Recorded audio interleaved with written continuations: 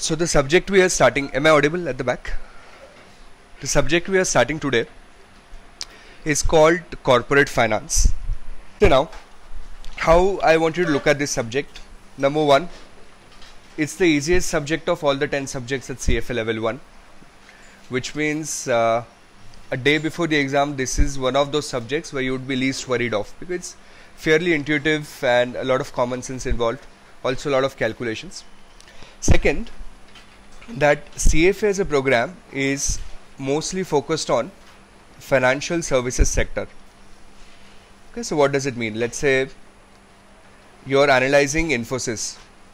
Now, in most of the candidates who would pick up jobs after doing this program, when they're analyzing Infosys, they're not analyzing Infosys so that they can help Infosys. They're analyzing Infosys so that they can decide whether they should put money into Infosys. Are you following me? Or they should put money into that particular stock. The idea of corporate finance is that when you're analyzing a stock or when you're analyzing a scenario, you want to help that particular company take decisions about it. So the way I look at syllabus, those nine subjects that we have apart from corporate finance, those are majorly focused on financial services sector, but corporate finance as a whole is actually focused on helping those organizations. So if you ever decide to work in corporate finance area, then you would be working as a part of an organization. Let it be apple let it be mcdonald's infosys sbi and then you would help them take different category of decisions. Okay so in your notes the first thing that we write down is capital budgeting.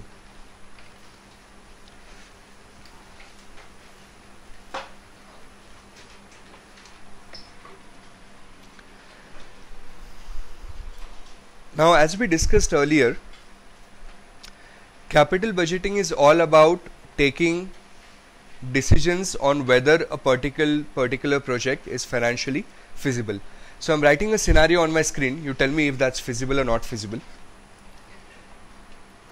This is time 0 time 1 2 3 you invested 1000 into a particular business project and the amount of profit that you're going to make let us say this is 500 500 and 500 for each of the three years and then the project will close down.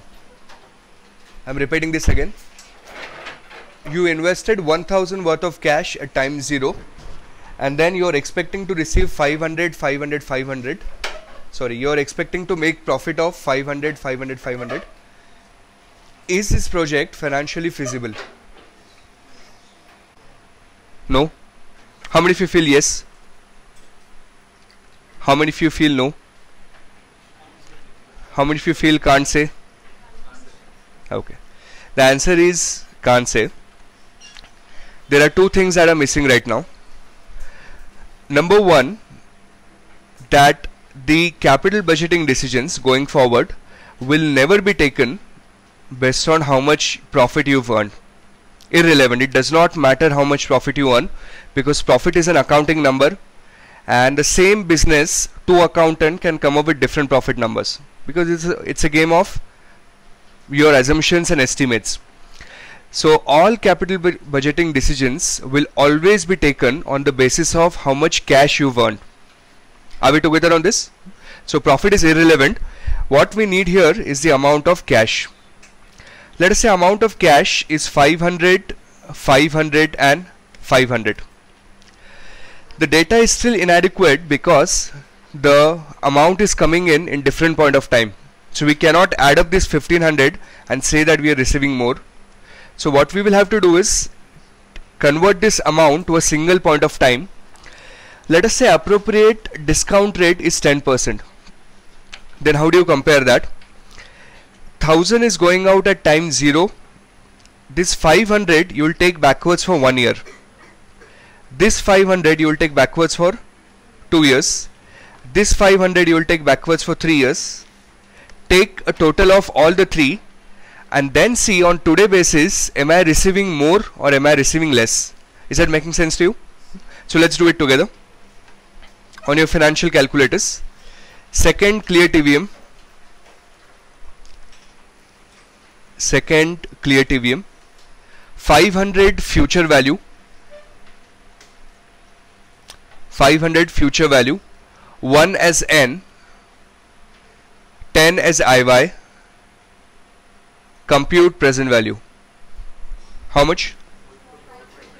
440 454 now don't do second clear TVM just say 2 as n overwrite the previous one say 2 as n compute present value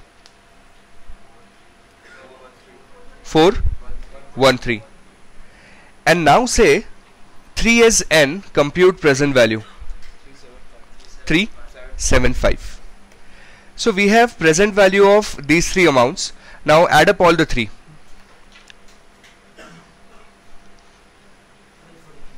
12 43 so how do you interpret this scenario? That on this particular business project at time 0 the amount that I would be required to invest is 1000 but time 0 equivalent amount that I am receiving is how much? 1243 so should we do this project or should we not? We should because we are receiving more. Hmm, so that's the first formula that we are learning for the day. That what we calculate in these kind of scenarios is called as NPV net present value which would be calculated as present value of inflows minus present value of outflows. And present value of inflow in this case is 1243 minus outflow of 1000 and therefore we would say that since NPV is positive project is financially feasible. Let's see if we can do one more so now I this time I want you you to give it a shot. Let us say time 0 we've invested 1500 time 1 we've received 800 time 2 900 and time 3 we've received 1000 discount rate is 10% calculate a NPV for this project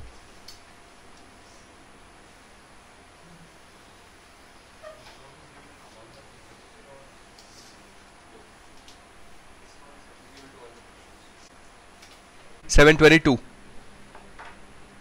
Okay.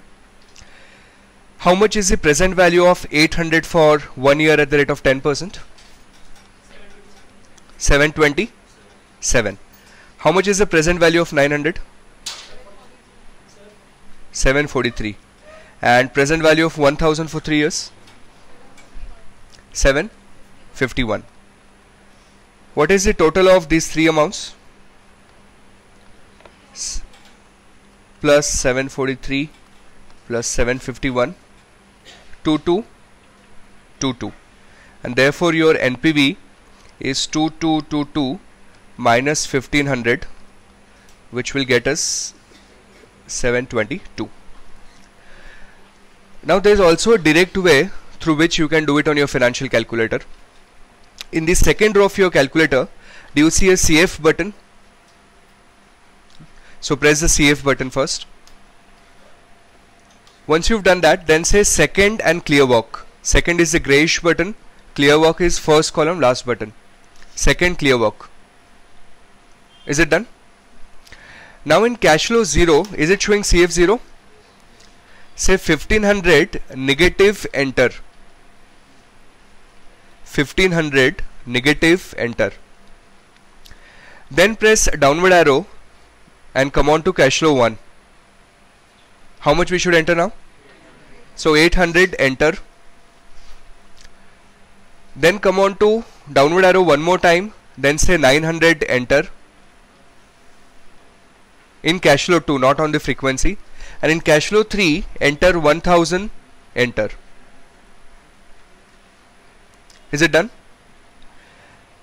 now there is a NPV button on the right hand side of cash flow. So press the NPV button. Now say 10 enter. Say 10 enter. Press downward arrow. It will show you NPV 0 and press compute. It will directly throw answer of 722 right? But you should know what the cash flow function of your calculator was doing. What your calculator did it took present value of 800 900 1000 it added them up and then it reduced 1500 so that we got NPV of 722 are we doing fine here? So have you already written formula of NPV present value of inflow minus present value of outflow. And what would be the decision rule that if NPV is positive that means we are receiving that means we are receiving more than what we've invested and therefore the project should be undertaken. Now the next number. Understand this carefully. See in India 2001 or maybe 2002 till last quarter of 2007 first quarter of 2008 we had a really long bull rally in Indian markets which means the markets were continuously on spike right? irrespective what was happening in the markets the markets were always increasing. Now a lot of retail investors got excited somewhere around 2005 so this was the period when a lot of retail investors kept on coming in the market and of course in 2008 all of us know what happened.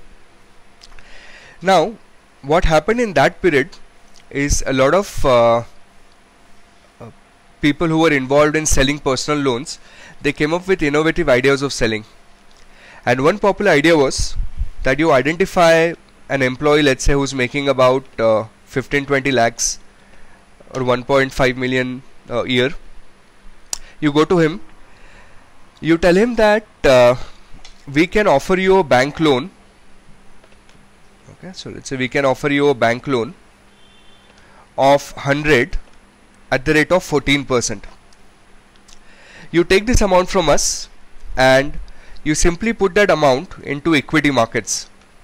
Okay so put that money into stock markets and choose the worst possible stock that you can choose. Even in that case you can easily expect to earn 20% right? Because the markets itself they are rallying. So no matter where you put put your money in it is definitely going to get you 20% so let's assume that that 20% analysis was correct which means by the end of the year that 100 will become 120 which means this person who's taken the loan without any of his own investment how much is he making? About 6 lakhs. Does it seem like a good proposal? Yes or no? How many of you feel yes? How many of you feel no? Is it a good idea? What do you think? Huh? Yes. So we are not sure whether it is actually going to be 120, isn't it?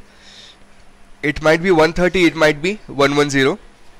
But as long as you are earning more than 14%, it seems like a good idea right?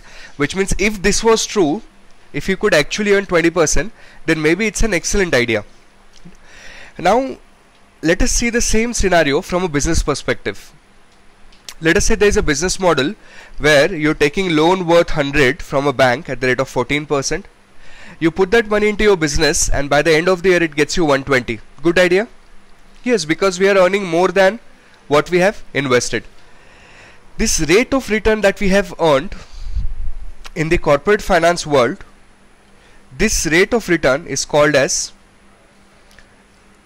internal rate of return or we would simply be calling this as IRR and this rate of return which is costing us on that 100 in corporate finance world this number would be called as cost of capital. And this will help us build a thumb rule that as long as IRR is more than cost of capital the project seems to be a good idea because we are earning more than what we have rate at which we have borrowed or what is our cost. Are we fine with this? So write down this quickly. Have we done? Now there is a direct function available in your Texas calculator to help you calculate numbers like IRR so what I want you to do is press the cash flow button again. Once you press the cash flow button, it will again show you CF0. Then say second clear work. second clear work will delete the memory in case if there was anything previously saved. Then in cash flow 0 how much did we invest in this scenario? At time 0 we invested 100 so say 100 negative enter. 100 then you have to use a plus minus button which is in the last column. Use that and then say enter. Have you done that? Now press downward arrow and come on to cash flow 1 how much have we received at time 1 120 so say 120 enter but keep it positive this time. Once you've done that on the right hand side you would see a IRR button after NPV press the IRR button and then say compute. It will show you IRR of 20% so it is really really important that going forward you'd always interpret IRR as the rate of return that you are going to earn on a project. There are a lot of technical definitions of IRR and I'll come to that part later on. But the way you interpret this number in the market that how much will I earn on this project and in this case you're earning 20% and as long as you're earning more than your cost of capital the project is financially feasible. Are we good? So let's practice a few more questions around this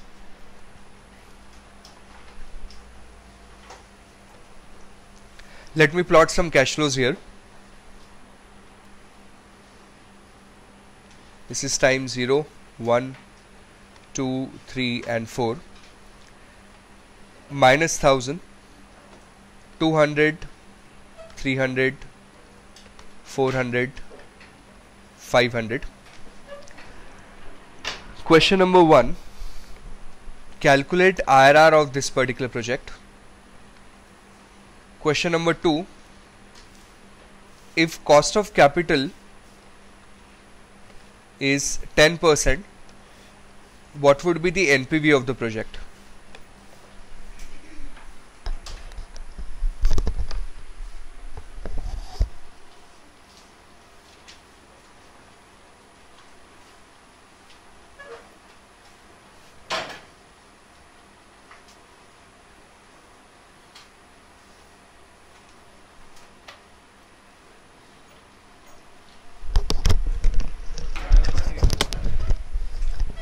How much is the IRR?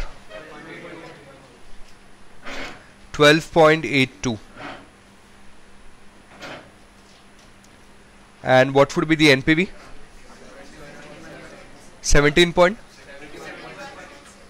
71.7 how many of you got 12.82 okay. And 71.7 fine. Let's do one more example do you want me to help you with this? Anyone? Let's do one more.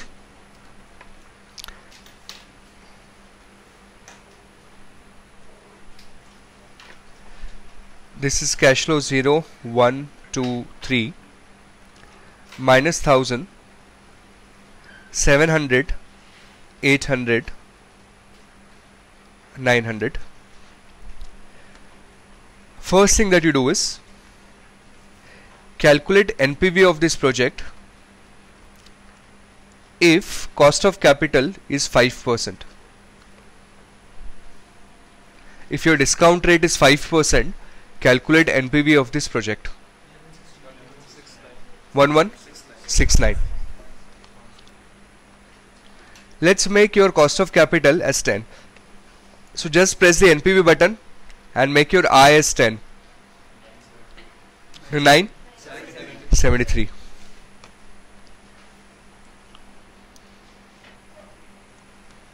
let's make cost of capital as 20% calculate NPV 659 what you can clearly see here as cost of capital is increasing your NPV is decreasing because your bank is eating out your profit. Make sense they are charging you higher amount of cost and therefore your net value which is being added to your business is decreasing. Let us make this as 30% calculate NPV now. 421 let's make this as 50% NPV again. 88 let's make this as 53% okay 58 percent? Minus 8 now observe this carefully. Somewhere between 53 and 58 your NPV crossed from being positive to negative which means there was some rate between this where your NPV was exactly 0 hmm. let's try to find out how much is that let's try 57 and as the cost of capital.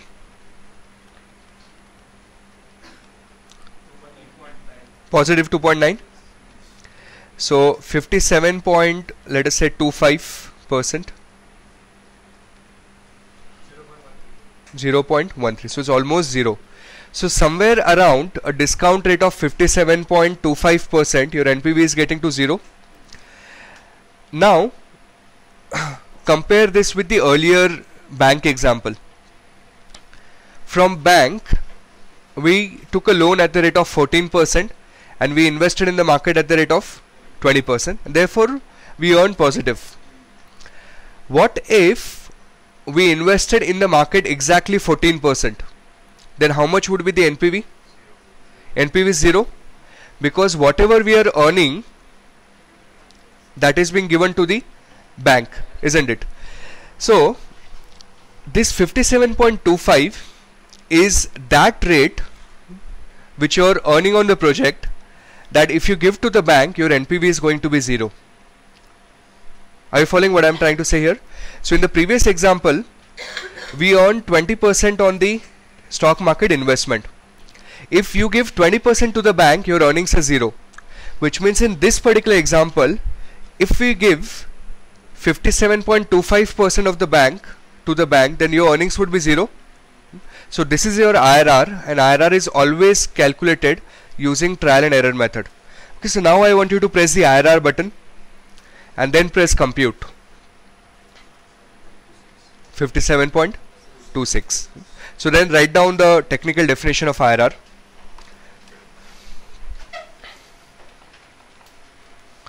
first first point IRR is the rate of return IRR is the rate of return earned IRR is the rate of return earned on a project. Okay, now this is the single most important definition and interpretation. This is also more important if you're a MBA finance, uh, if you're already a MBA finance, or if you're a CA student, because I'm sure you must have learned the other definitions of IRR. Okay, so next time you see IRR, the simple way at which you're going to look at it is this is what I'm earning on this project. Are we fine? Second definition IRR is that rate at which IRR is that rate at which present value of inflows present value of inflows are same as tell me present value of outflows. Present value of inflows and outflows would be same. And therefore the third point if IRR is same as cost of capital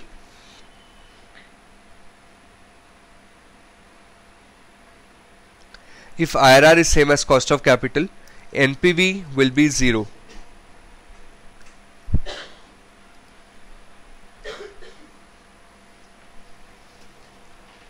Are we doing fine here? So today we are going to look at five metrics through which we can take decisions. We've already seen two of them. Which was the first one? NPV. And what simple decision rule we said for NPV is if NPV is positive that means I'm receiving more than what I'm paying project should be taken. Second rule is IRR where we said if IRR is more than cost of capital then the project should be taken. Now one sentence one sentence uh, that you would write down below this. If so write it write it down like this.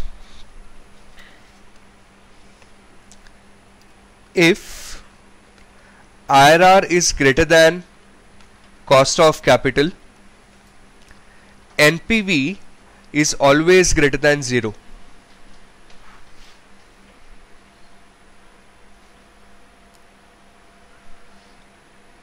do you agree with this? So again that analogy will come in handy. If we were earning 20% and if to the bank we were paying 14% we are always going to have positive amount. So as long as this 20% or this value is more than 14 your NPV is always going to be positive. Are you fine with this? Next example in the series now is called as or next metric is payback period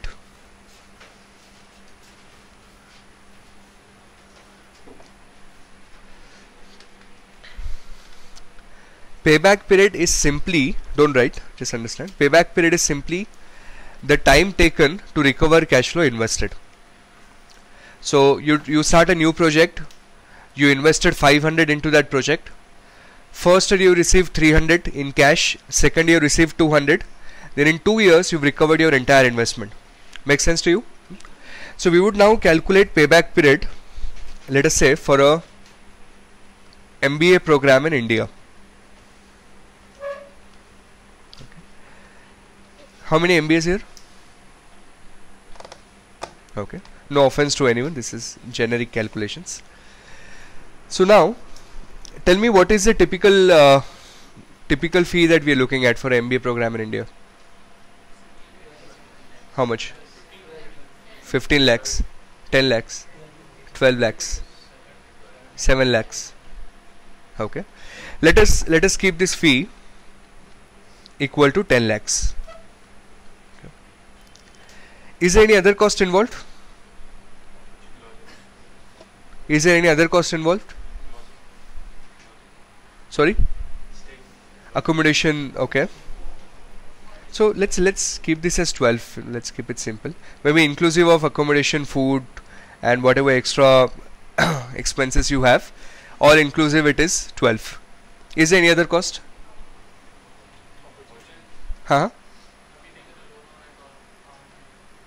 Loan uh -huh, okay. Loan on the interest right? Fine. Yeah let's keep that in mind. What else? Opportunity cost? So see now a lot of colleges I see a lot of uh, IT employees with experience of two three years uh, they will start picking up an MBA program right? So they quit their jobs and then they go to do a full-time MBA so when they do that by the time they quit their job they're already making about 5 to 10 5 to 6 lakhs per annum. So salary of those two years hmm, which is in finance we call this as opportunity cost. Do you agree with me? That had they not done the MBA then there wouldn't have been any loss of this salary. So let us keep that for two years cumulative as 10 lakhs. So the total cost that we are looking at is 22 lakhs. Out of this 22 this 12 is called as the explicit cost explicit means you could see it explicitly whereas this 10 is called as the implicit cost. Now see what happens is let's say your MBA program gets over and on an average let's say the candidate gets a salary of 8 lakh per annum. Good enough? Now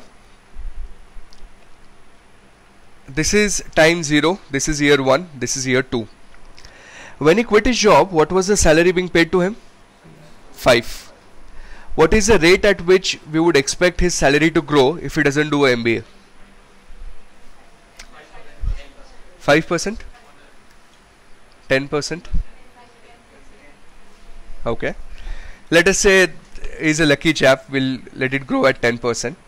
So five and a half and let's keep it 6, we'll round it off. So which means had he not done a MBA, his salary otherwise would have been 6 lakhs. With his new MBA, now he can earn about 8 lakhs or 800,000. Hmm, 1 lakh is 100,000. So which means the relevant decision making for us is not the salary that is receiving which is 800,000. The relevant decision making metric is 200,000 or 2 lakhs. Are we in agreement on this? And the amount which is being invested is 22 which is 2.2 million. And therefore the time it would take to recover him his entire salary is 22 divided by 2 that would be 11 years. This is called as the payback period. Okay. I've still been very lenient with the calculation. Otherwise the payback period could also be 24 25 years. Of course what we are also ignoring is the rate at which the salary will grow isn't it we are keeping that salary quotient constant. Are you, are you fine with the concept? Hmm? so let's calculate payback period for a project. This is time 0 let's say you invest 500 time 1 you receive 200 then 250 150 400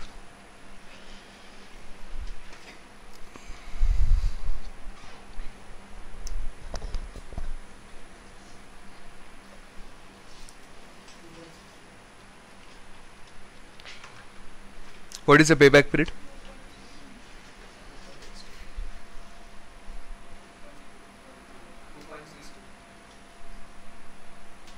Six two three three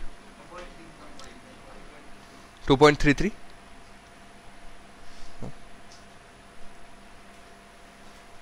See now how would you do it?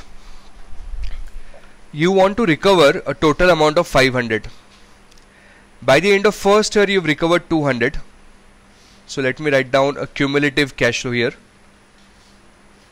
By the end of second year how much in total have you received? 200 plus 250 total you've received is 450 by the end of third year total amount received is 600 so somewhere between year 2 and year 3 you've recovered your 500 so what we will have to use is a simple interpolation technique. From 450 how much is the shortfall that we have? 50 and in year 3 how much we've received? 150 so we will say in 12 months after year 2 we've received 150 but we need just 50 how many months will be required? Make sense? And that would be 4 months. And 4 months means 0.33 or one third of the year which means your payback period is 2. 3 3 years. Are we okay here? Now the good news for you is that your calculator is equipped to do this calculation. So press the cash flow button. Press the cash flow button then say second clear work. Go on to cash flow 0 500 negative enter. Come on to cash flow 1 200 enter. Cash flow 2 250 enter. 3 would be 150 enter.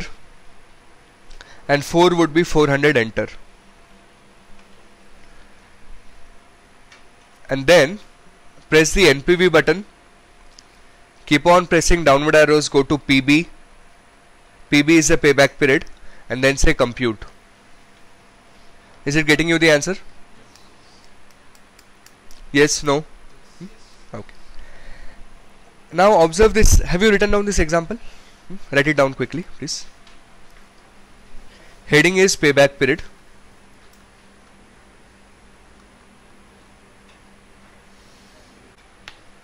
Done writing.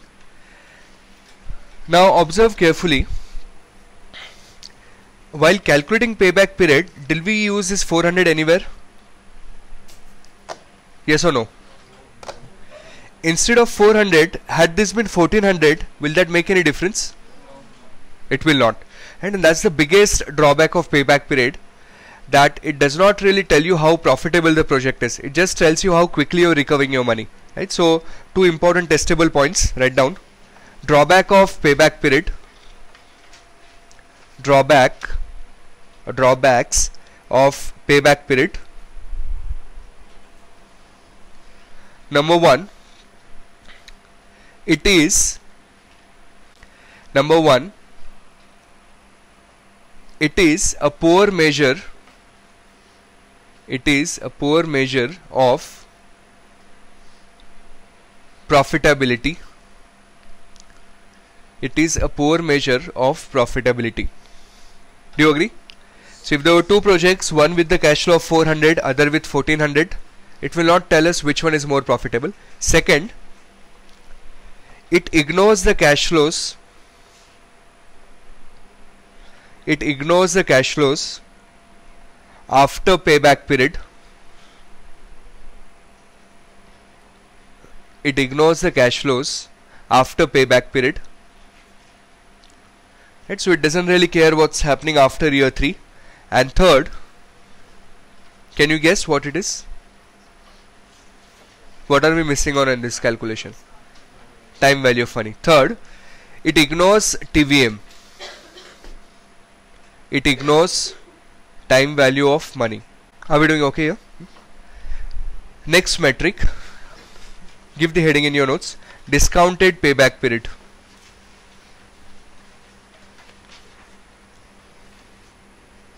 Discounted payback period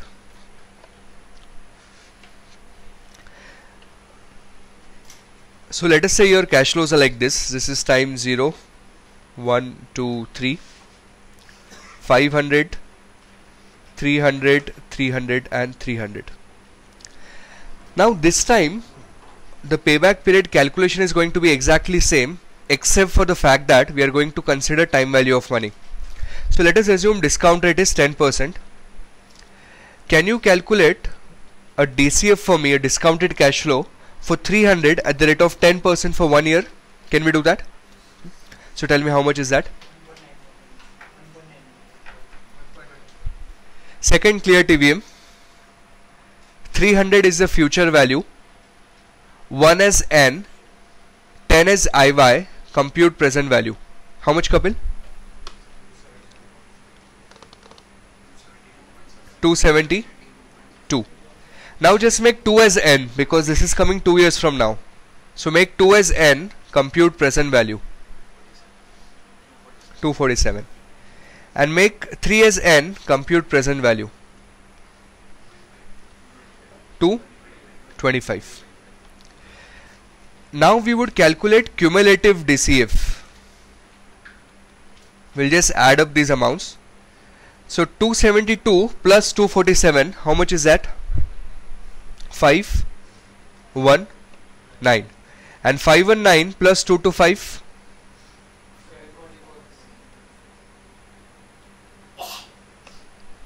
744 now when is your 500 being recovered in this series? Between year 1 and year 2 and very close towards year 2 so your payback period is 1 year plus a few months. Do you agree with this your 500 is being recovered here so your payback period is 1 year plus a few months. So how do we find it out? By the end of year 1 we've recovered 272 how much extra do we need to reach 500 228 so in 12 months the total recovery is 247 how much how many months for 228 and just do proportionate calculations 0.9 year? Oh, this is in months. 12 months 247 how much to recover 228 give me answer in number of months. 11.07 months. And 11.07 as a ratio to 12 is how many years? 0.9 0.92 years now again the good news is that your calculator can do this calculation directly. So you can press the cash flow button, say second clear work, insert these cash flows in your financial calculator, these cash flows here, insert the discount rate and solve for DPB. DPB comes after PB. The answer you would get would be 1.92 or 91.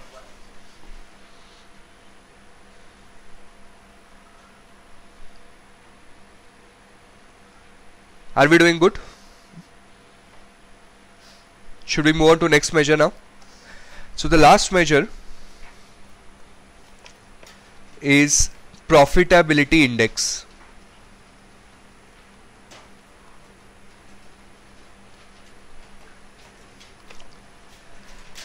Let us say there are two projects that we have right now project A and project B these projects are mutually exclusive. Can you tell me what it means? Mutually exclusive means? Yes. Either you can select A or you can select B. You cannot do both of them together. One of the two or only one of them. So let us say NPV of project A is 1 million and NPV of project B is 1.5 million. Now tell me which project seems more attractive? B? How many of you feel B? Yes, why? Because the NPV is higher. And that's the rule that if projects are exclusive, mutually exclusive, we will generally select the one which has got highest NPV because we are receiving 1.5 extra today. But let's have some more details. What is the formula for NPV calculations? Present value of inflow minus present value of outflow. So let me write down present value of outflows first. How much we have to invest at time 0. In project A, we have to invest 10.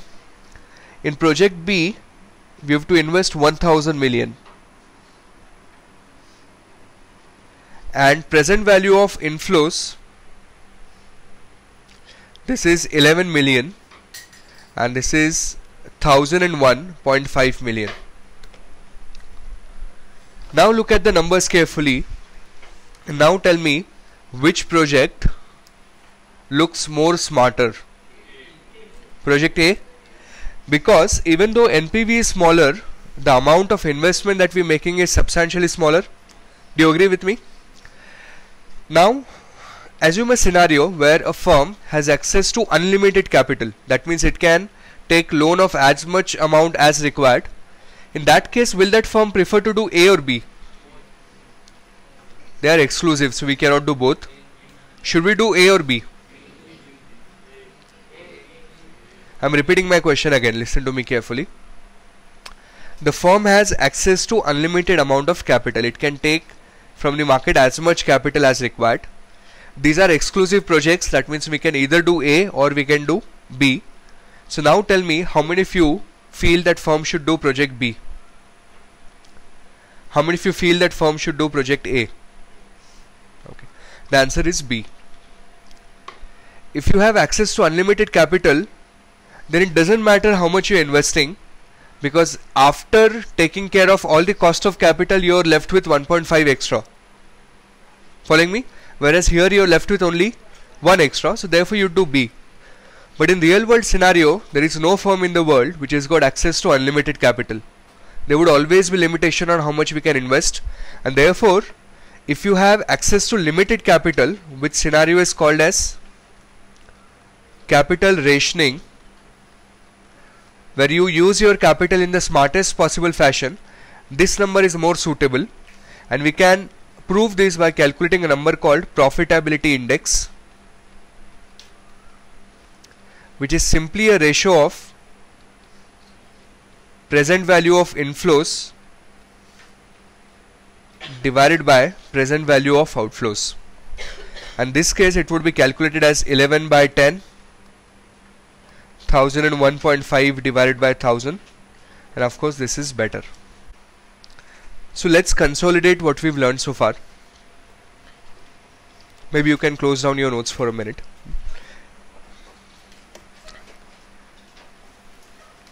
First we started our discussion on understanding what was corporate finance. It is that area of finance where you help companies take decisions about different metrics. How to raise capital how to invest how to manage working capital whether they should pay dividend how to do business ethically all those areas. Then we started with capital budgeting. The idea of capital budgeting is to analyze different ideas and decide whether they are financially feasible there are five key metrics to which we take decisions. The first one was net present value or NPV the decision rule was that there could be two scenarios. If the projects are independent or they are mutually exclusive. If projects are independent which meaning of which is they are not related to each other then the decision rule is we will select all those projects which have positive NPV but if the projects are mutually exclusive then we will select the project which has got highest NPV because that's the maximum addition to the wealth of the firm. So that was NPV and the formula was present value of inflow minus present value of outflow. Then the next metric we learned was IRR IRR is the rate of return earned on a project. It is the rate at which Mukesh rate at which? NPV is 0 which means present value of outflow and out inflow and outflow are same. Then payback period discounted payback period. Time taken to recover your cash flow.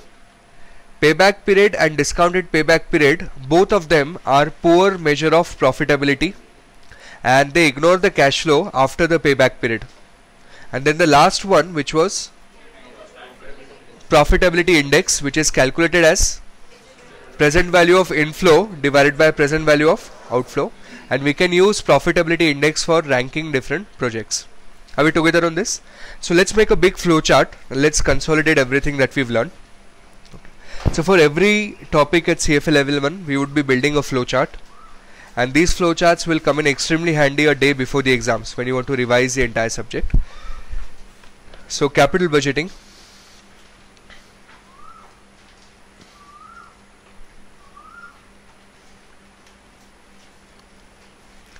five key metrics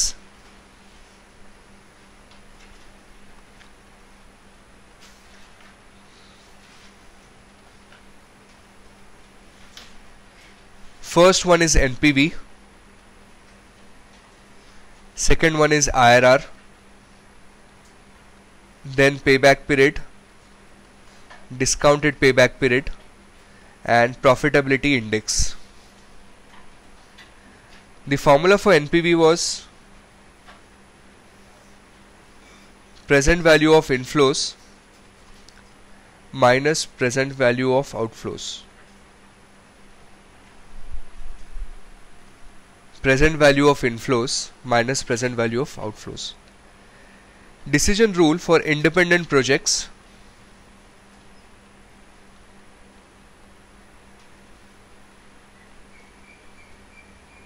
select if NPV is greater than 0 and for mutually exclusive projects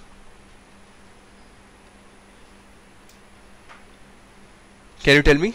Mutually exclusive? Select highest NPV project.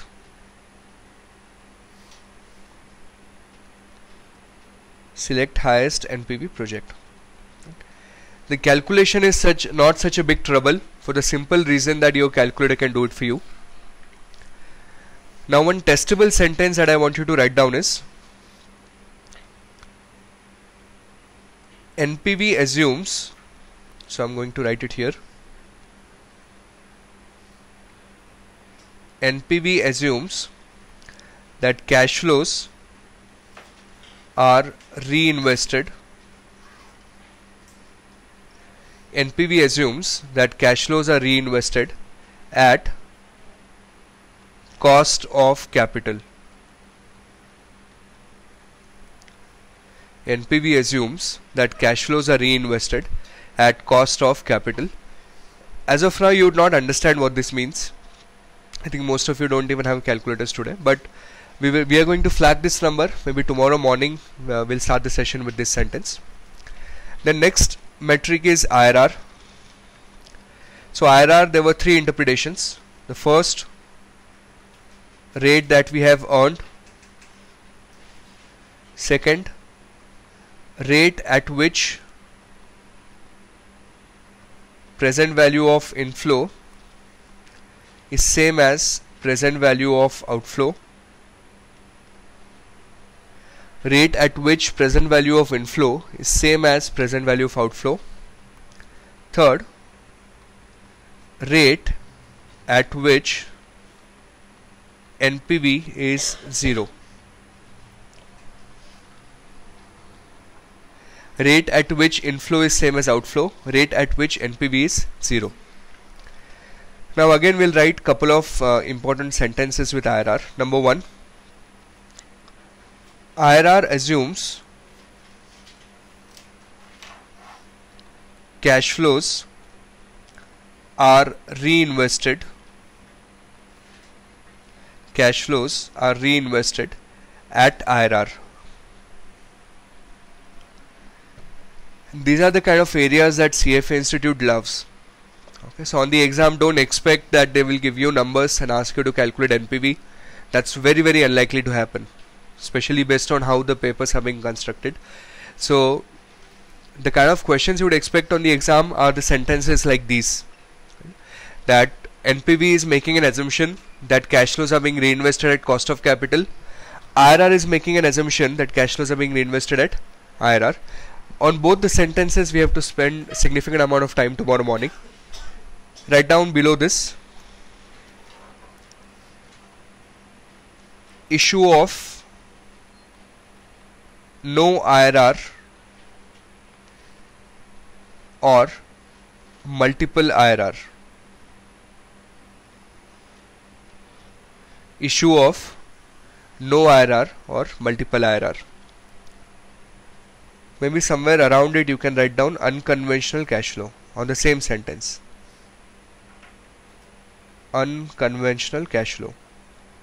So that you remember why this happens yet to be discussed but write down to make your notes complete. Unconventional cash flows. How you find here? Then payback period. Simple explanation. Time taken to recover investment. Time taken to recover investment.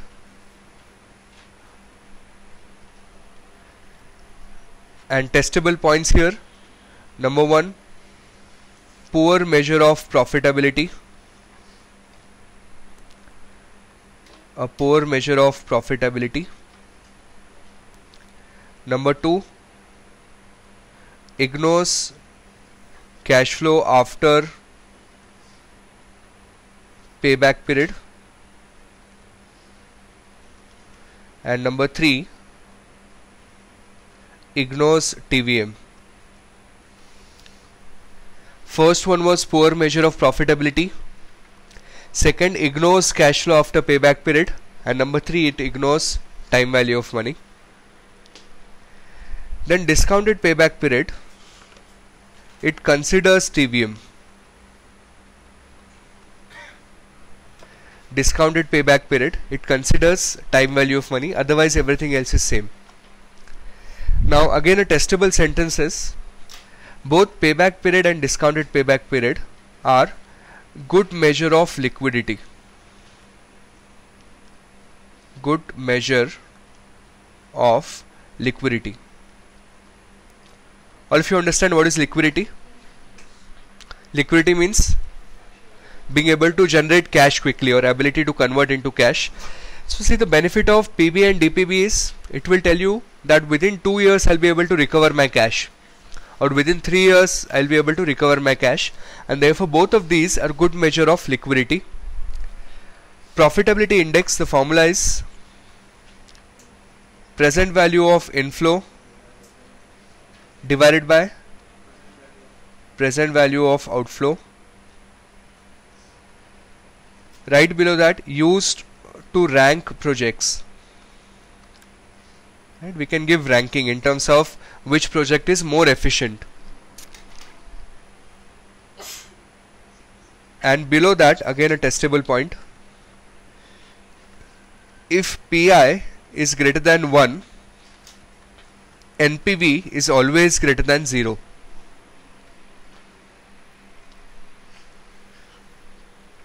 if profitability index is greater than 1 NPV is always greater than 0 are we on agreement here? Yes? Why? Because the formula for PI is inflow divided by outflow. It would be more than 1 if inflows are more than the outflows and that would automatically make your NPV greater than 0